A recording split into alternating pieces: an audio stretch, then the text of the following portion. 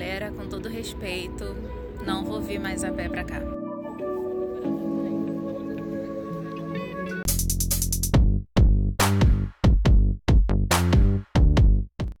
Essa é a minha primeira viagem internacional. Jamais fingirei costume, é para fazer escândalo mesmo. E eu tô aqui porque eu fui uma das 30 jornalistas selecionadas, jornalistas tá, de todos os gêneros e de todos os lugares do mundo, para fazer um mini curso na Columbia University focado em primeira infância e cuidadores de crianças. Só daí já começa a questão, né? Porque quem cuida de criança pode ser qualquer pessoa, não só pais e mães, mas uma família extensa, enfim, uma comunidade. É, pelo menos é o que a gente espera que seja, né? Uma tarefa coletiva. E nós, jornalistas, precisamos nos atentar à importância que a primeira infância tem para a vida inteira, sabe? Isso basicamente define quem você se torna depois. E como vários assuntos sociais afetam as infâncias. É dessa vez, né, já demonstrando sinais de cansaço, eu não deixei separado qual é o look do dia, mas eu sei qual é. Vamos catar aqui então. Eu escolhi um look que é majoritariamente monocromático, com um detalhe que vai torná-lo color block, que é um cinto. É um look monocromático azul com detalhe de um cinto amarelo que tem que aparecer agora. Apareceu. Hoje, além de ter os painéis e mesas redondas e momentos de interação em grupo no curso, a gente também tem ao final do dia, se tudo der certo, se não chover, um passeio de barco noturno por Nova York. As chances desse passeio não acontecer são grandes, tá? Porque aqui a previsão do tempo é muito previsível. Não, não é previsível, mas enfim, é muito. bate com as expectativas. E infelizmente a chuva está concentrada para a noite de hoje. Eu tô bem triste. Talvez se esse passeio for cancelado, eu mesma vou vou volto ao Brooklyn para ter essa visão noturna da cidade que eu realmente não tive. Mas vamos lá. Hoje eu vou vestir essa blusa aqui azul com essa calça pantalona azul também. Eu sei que ela não tá aparecendo toda agora. Depois, quando eu tirar uma foto na vertical, vocês veem. Junto com esse cinto. E por conta do passeio de barco, como é que vai funcionar a dinâmica? Exatamente como funcionou ontem em termos de vestimenta. Socialmente, em espaços com aquecedor, eu vou estar usando esse blazer aqui que é bege. Tá com cheirinho de amaciante por causa de ontem, que eu passei, né? Me virei. E quando for rua, frio intenso, ou até mesmo o barco, tá aqui o meu casaco de frio com aquela camadazinha que suporta um pouquinho de chuva. E, bem, a previsão, a mínima de hoje é de 6 graus com sensação térmica de menos 1 aparentemente será o dia mais frio da viagem. E para acompanhar essa coisa de frio intenso e chuva, eu vou usar a minha bota térmica. Essa aqui é uma bota que suporta uma certa amplitude térmica, então mesmo em dias acima de, assim, em dias por volta de 10 graus, não é insuportável usá-la, mas quando as temperaturas ficam próximas ou um pouquinho abaixo de zero, ele também é agradável. Então, é por isso que eu vou usar. E existe aqui também uma certa camada de tolerância à chuva. Vou ficar enganando meu estômago com essa torradinha, porque daqui a pouco, às sete e tal da manhã, o nosso grupinho de pessoas que decidiram caminhar vai se juntar lá embaixo no lobby. Lá embaixo no lobby do hotel. E a gente vai a pé até a Columbia University, que significa uns 40 minutos de caminhada. Para que fazer isso tão cedo de manhã? E no frio é algo que eu comecei a me perguntar agora. Mas eu vou naquele esquema, né? Por conta da minha coriza, meter uma máscara aqui e caminhando, tentando sustentar o meu carisma com o pessoal.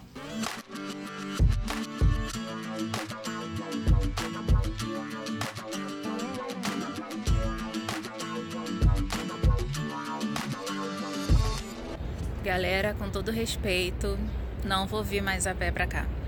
Não dá. É pela minha saúde, é pelo meu bem-estar mesmo. Foi uma experiência bem tranquila de se caminhar, não tão cansativo quanto eu esperava.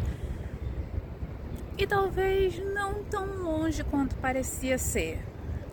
Mas, é, realmente, gente, o meu nariz, tudo, melhor não, melhor me preservar, melhor estender um pouquinho mais a minha noite de sono. Ó, o vento, ele voltou.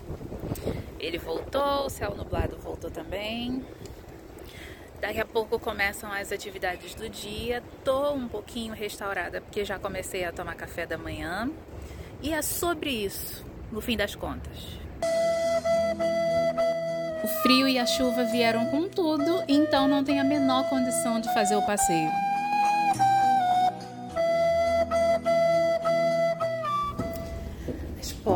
São pesadas aqui. E eu realmente acho que em algum momento eu vou levar uma portada na cara, porque porque eu não tô habituada com isso. Isso sem falar que eu tô há um tempo, né, sem frequentar a academia, então eu tô fraquinha. E quando eu voltar, tudo vai doer. Acho que tanto faz a porta aqui. Talvez não. Vamos ver. Será que eu estou trancada do lado de fora? Mentira, essa tá aberta aqui.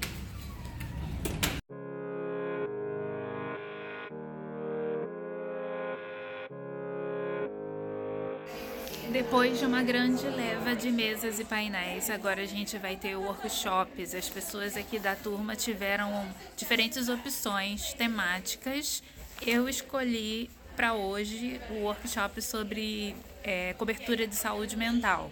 Amanhã, domingo, também vai ter outro. E você acha que eu me lembro o tema que eu escolhi? Claro que não, mas está anotado no papel aqui. De volta ao hotel, na verdade não era nem para eu estar aqui agora, mas o que, que acontece? Nós recebemos é, o jantar assim. Então, não tinha como eu passear. Isso, obviamente, se eu guardasse dentro da minha mochila, teria um risco muito grande da comida virar. Então eu vim para cá só para jantar e dar uma descansada, né? Unir o útil ao agradável. Mas eu vou dar uma volta bem boba, que é que agora à noite eu vou conhecer o Harlem, porque se eu não fizer isso agora, eu a viagem vai acabar e eu não vou fazer. Só que o Harlem fica coladinho com a faculdade, a universidade, eu já tava lá. Então vou fazer o caminho de volta.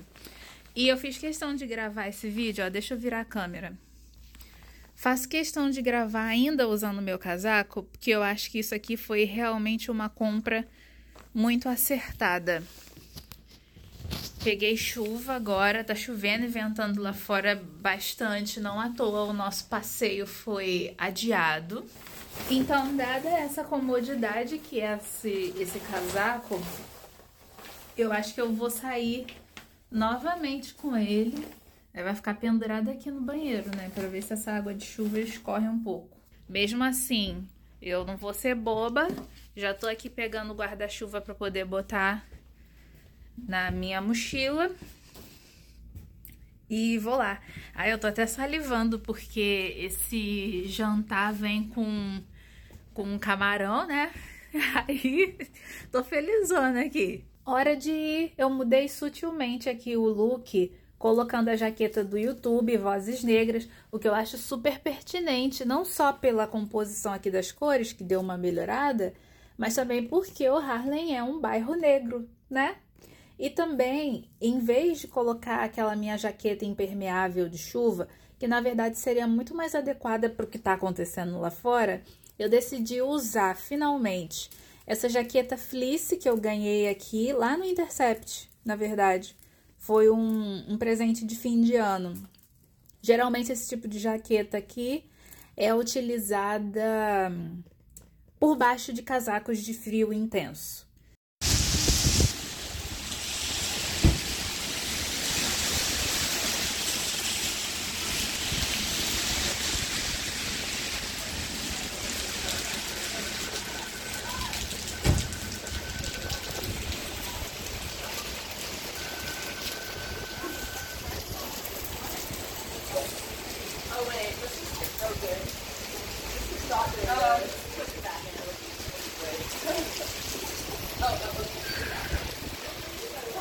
isso aqui não é imagem de cobertura, não. É um silêncio proposital. é um silêncio proposital. Estou completamente lavada. Eu não preciso falar mais nada. Vamos seguir com essa agenda, resolver, né? E quando eu chegar ao hotel de volta, o secador de cabelo e o ferro de passar vão ser usados como nunca. Dá uma olhada na situação. Ó. E o mais impressionante é que eu não estou desconfortável porque ele ainda está segurando a água. De volta ao Brasil, eu tô aqui editando o vídeo e senti vontade de trazer um verdadeiro depoimento para vocês. Acho que agora tudo vai fazer sentido. Embora tenha parecido um enorme desconforto, um enorme perrengue, eu adorei esse passeio, valeu a pena. Tava chovendo demais, então infelizmente não deu para gravar para vocês de pertinho o Apollo Theater, os, a calçada da fama e os, as ruas, né? Todo aquele ambiente que o Harlem tem. Mas eu fui observando a olho nu, né? E me protegendo da chuva também, da forma como eu podia. Mas tanto no Harlem quanto no Brooklyn, um pouquinho até ali pela região de da Times Square, né, que eu acabei indo pro lado oposto. Nessa viagem eu realmente me permiti assim perambular, né? Já usei essa palavra antes andar pelas ruas, errar o caminho. Eu tinha o Google Maps como uma tentativa de auxílio, né? Vocês sabem que eu passei parte da viagem sem internet. Mas de toda forma, eu sabia, né, logicamente, que se eu errasse, tá bom, então deu uma volta no, no bloco ali, né, no quarteirão, para conhecer, ver as pessoas locais, entender ali como as coisas funcionam. Eu gostei muito de de certa forma, andar sem rumo de vez em quando, porque todo lugar era novo e interessante para mim. Isso não dava para ser gravado. É claro que tinha também um critério de segurança que era não ficar sozinha em ruas escuras, ruas, becos e coisas do tipo, né? É aquilo que eu já falei em outros vídeos aqui sobre ser uma pessoa viajando sozinha dar bandeira sobre ser né, uma mulher, principalmente turista, desacompanhada, andando por aí. A gente sabe o mundo como ele é, né? Não é um impeditivo, isso não vai fazer com que eu deixe de sair de casa, mas sempre saio com sentidos, não só olhos atentos. É uma das belezas do Harlem, é, para mim, enquanto mulher negra, é justamente ser só mais uma pessoa andando por aí. Então, a menos que eu ficasse, né, muito ali com o celular, aparentando estar desorientada ou passeando. E desde que eu não abrisse a boca também, eu seria mais uma pessoa negra circulando pelo Harlem. Qual é a novidade nisso? Nenhuma. Nenhuma. E isso é muito bom, muito legal. Foi legal pra mim também. Então, seguindo a dica da Marília Ortiz, eu fui conhecer um restaurante chamado Silvias, que fica lá. É um restaurante tradicional é, de uma família negra especializado em soul food, que tem toda, enfim, eu né, não sou historiadora, não sou o Google e tal, mas procurem saber sobre soul food, essa alimentação criada e tocada por pessoas negras tradicionalmente nos Estados Unidos. Embora seja né, uma dica, né, uma oportunidade culinária, gastronômica incrível para mim, não vou mentir, eu não aproveitei a comida em si, eu aproveitei o ambiente. Por estar doente e de barriga cheia também, afinal eu tinha acabado de jantar no hotel e não tinha como não jantar porque não tinha frigobar, né, ali no quarto. Então, enfim, Imagina, né? Eu já estava com uma infecção. Eu não vou me prestar o papel de comer uma comida em decomposição, né? Então, é mesmo assim, lá na Silvia, eu pedi um, uma, uma entradinha, né? Me permiti tomar a primeira bebida alcoólica da viagem, então foi esse drink que vocês estão vendo. E tudo isso custou, juntando isso com a taxa de serviço, deu cerca de 31 dólares. Esse meu comentário de que estar nesse ambiente foi a experiência em si é justamente porque lá dentro, eu não sei se foi a chuva, se foi o momento do ano, Mas lá dentro só tinha pessoas locais mesmo. Então, gente comemorando aniversário, pessoas negras, 99,9% do povo ali eram pessoas negras ou pessoas latinas, não brancas. E isso foi muito legal. Isso sim, eu acho que é fazer parte da experiência cotidiana de quem vive nesses espaços, né? Tem um jeitinho diferente quando você se afasta ali dos monumentos, das atividades voltadas para turistas e começa a se colocar em situações típicas de quem mora por ali, ou no mínimo, uma situação típica quando um morador local quer fazer uma graça, quer gastar um pouquinho de dinheiro a mais em família, com parceiros, e vocês me entenderam, né? Até sair de lá, eu já estava ensopada de chuva, morrendo de frio, meio que atrasada para dormir já, preocupada com o horário. Então a volta pro hotel foi algo que eu estava esperando muito. E é isso, no fim das contas, valeu a pena. Faria tudo de novo. Não tinha como fazer essa viagem tão próxima ao Harlem sem dar uma passeada por lá. Na hora de ir para o aeroporto, felizmente o carro deu uma outra passadinha no Harlem, dessa vez na sua versão diurna, solar e sem chuva. Uma coisa que eu não contei a vocês é que um dos motivos do meu colapso é justamente a estação mais próxima do hotel está em obras, o que só complica a minha vida. Então agora lá vou eu para mais uma caminhada debaixo de chuva. Espero não ficar doente, viu? Acho que eu vou usar esse tempinho a mais pra, pra divulgar ela, a maioral. A campanha de financiamento coletivo do documentário.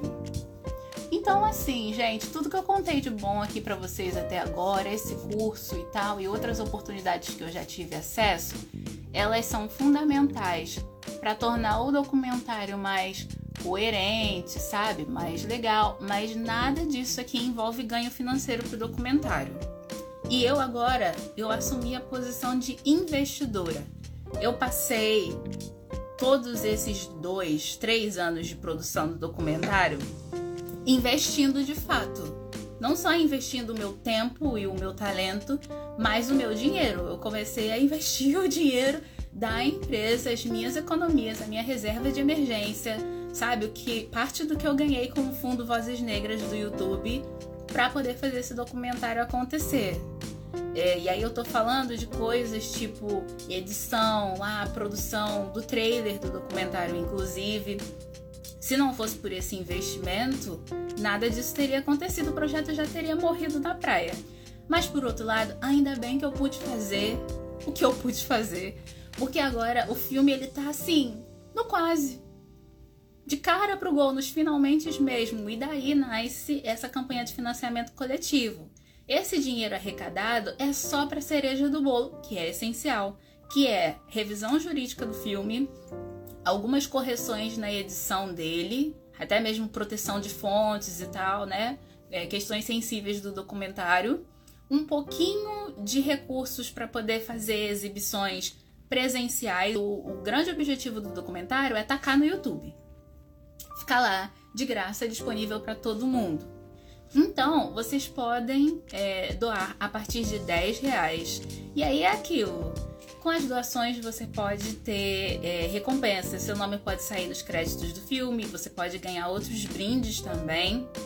Quem não tem dinheiro nenhum, você pode compartilhar o link dessa campanha de financiamento coletivo com seus amigos, com as pessoas que você conhece. É apoia.se barra infância em caixa. Esse link está disponível lá no perfil do, do documentário. É uma campanha que tem data para acabar, tem uma meta financeira e é importantíssimo alcançá-la.